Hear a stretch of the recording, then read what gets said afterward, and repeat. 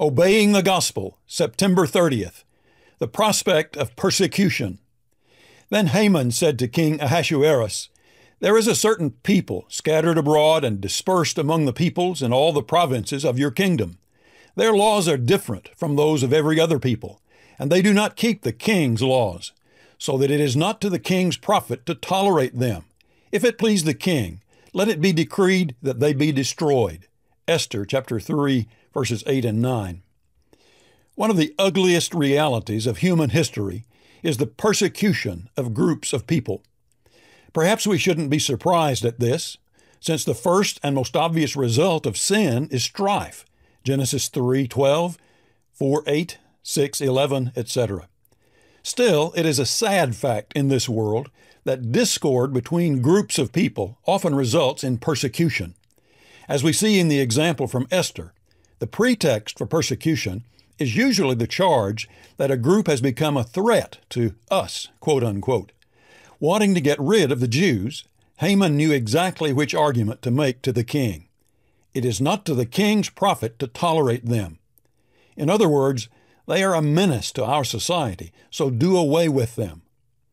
The group seen as disadvantageous to society may be a religious or ethnic group, or the difference may be racial, ideological, or economic.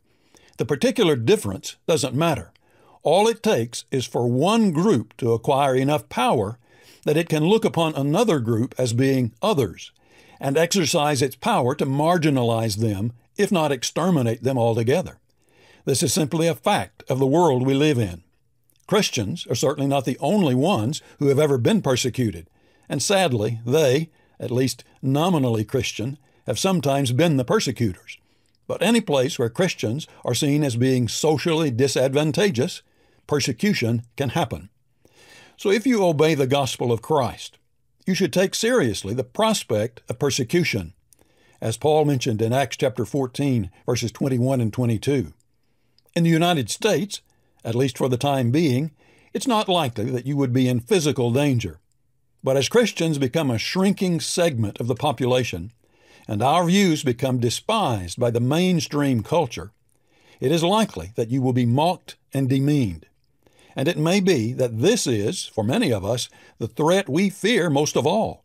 Many people would die for the Lord who would not stand up to the threat of social shame.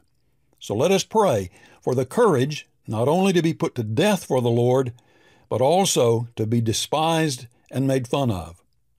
As G.K. Chesterton noted, a man who has faith must be prepared not only to be a martyr, but to be a fool.